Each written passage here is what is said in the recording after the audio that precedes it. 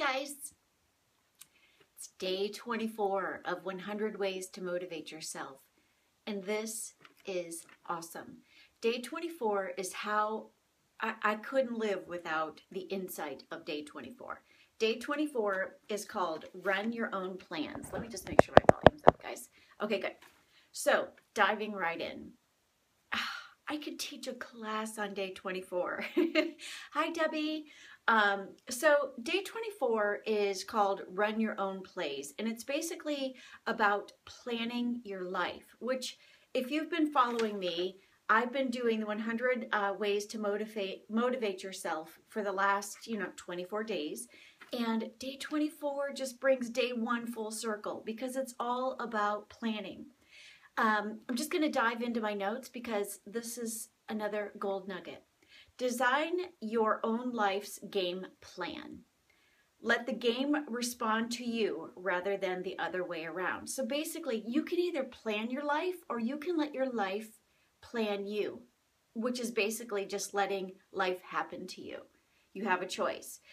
They he, the author goes into um, a story about football. He does a lot of sports references. Hi, how are you? He does a lot of sports references, and um, I'm not a sports person, so I'm learning about sports through this. But he talks about Bill Walsh. He was the former head coach of the San Francisco 49ers, and how he was known for being a very well planned coach, meaning he had all of his game plans in hand, excuse me, in hand. So before every game, he had every play that his team was going to play already done. And he noticed that a lot of the other cult or coaches were just kind of responding to how the other teams were playing and then they were actually going and modifying and doing things based on how the other coaches or how the other team was playing but not bill walsh he was pretty notorious for um, he was notorious for having plans but he was also notorious for winning a lot of super bowls so the strategy won him a lot of super bowls and what he did in planning everything out was the crucial difference between how he won and how other coaches didn't win. And his theory was you can either create or you can react. And I just think that's amazing. And I was looking at um, I was looking at the word creation and the word reaction and it's an anagram. Do you guys remember anagrams from middle school? An anagram is where you can take the word and you can move the letters around. Creation and reaction are an anagram. And if you think about it, creation is the action or process of bringing something into existence, whereas reaction is an action performed or a feeling experienced in response to a situation or event. So think about your life. Are you just reacting to life or are you creating your life? Because you have complete authority to create it. So just assess if your goals and everything is not in alignment if your life is not in alignment for the goals that you have for your life, then it could be because you're just reacting. You haven't spent the time creating it. Um, the author goes on to talk about how most of us spend our days in reaction. Think about your day today or even just yesterday. You, you, spend your time reacting to your boss, reacting to email, reacting to traffic, reacting to kids. Um, but we don't see our, we don't realize that our life is like a piece of clay we have the ability to really kind of mold it and to make it be what we want it to be. It's just a matter of realizing that we have authority to command the control. It's just a matter of taking the time and making the time. When your life itself becomes the subject matter of the creative process, a very different um, experience of life opens to you, one in which you are involved with life at its very essence.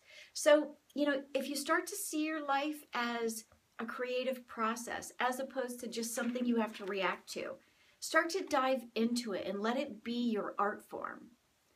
Plan your day the way that Bill Walsh, the pro football coach, planned his football games. See the tasks ahead of you as plays that you're going to run. You'll feel involved in your life at its very essence because you'll be encouraging the world to respond to you instead of you constantly responding to your world.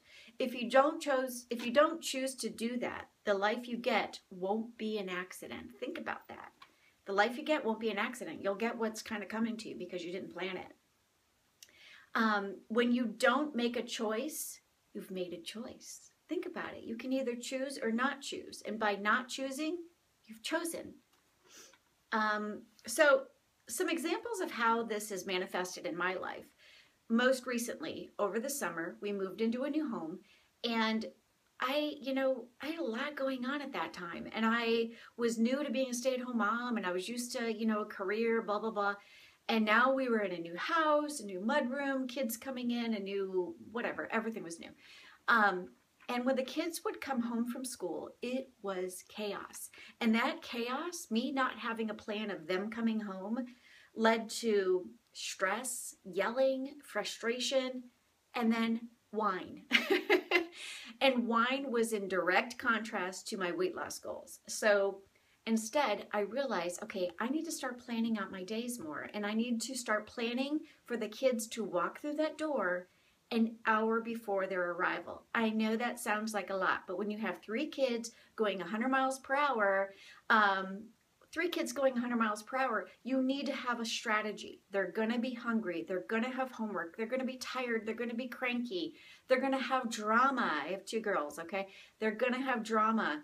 They're going to have whatever, insert whatever. If I don't have a plan and anticipate it, then I better plan for chaos. So what I did was um, I started putting some structure into the come home transition from school to home routine and it worked wonders. It not only affected our stress level, but it allowed me to actually start implementing AM and PM routines. And so they would come home from school, they would know that there was a little bit, a 15 minute break of just chill out, go to your room, have some time out time. Mommy and you will have some talk time about your day.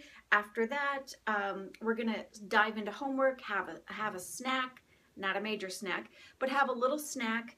Um, and then we actually got to the point where, excuse me, somebody's texting me. We got to the point where it started working so much that we were having family game night. My girls and I, we started doing date night with each other, with the kids. Um, we started doing our nails. I have two little girls. We're doing nails now. It's so sweet. But that's only because I anticipated, I learned about the chaos and I anticipated chaos if I didn't plan for structure. And so as a result, it's it's reduced my drinking of wine. I only have like a glass of wine now uh, on Friday or Saturday nights, and it's not a requirement anymore because life is more controlled, and I don't even have to say that it's controlled chaos. The kids know what to expect, I know what to expect. And when I worked, a way that I when I was in corporate America, a way that I got ahead of things was I would take a day off of work, you know, like once or twice a quarter. And I would, you know, like do a trapper keeper for moms. I don't know about you guys, but I remember trapper keepers when I was in elementary school, and I can tell you that as a mom, I need a trapper keeper now. so, you know, like once a quarter, I would just like organize everything between, you know, what's working, what's not working, what needs to have some attention, where bills need to be brought. Just have a plan because if your life, if your house is chaotic, your life is going to be chaotic. So I found that there was an absolute need and then I spun that into started doing PM plans when we have a nighttime plan and we set the stage for the next day, the next day has a wholly, completely different tone for the day. So the message today is start planning your life or your life is going to plan you. I have two parting quotes that I've um, looked up for you guys. So the first quote is Nobody ever wrote down a plan to be broke, you know, without money, to be overweight, to be lazy, to be uneducated. Those things all are what happen when you don't have a plan. So nobody ever wakes up in the morning and says, I you know, I want to be overweight today and I want to have I don't want to have enough money to pay my bills and um, you know, nobody ever wakes up and says, those are my goals. That's just what happens when you lack a plan. And my parting quote for you is a goal without a plan is just a wish.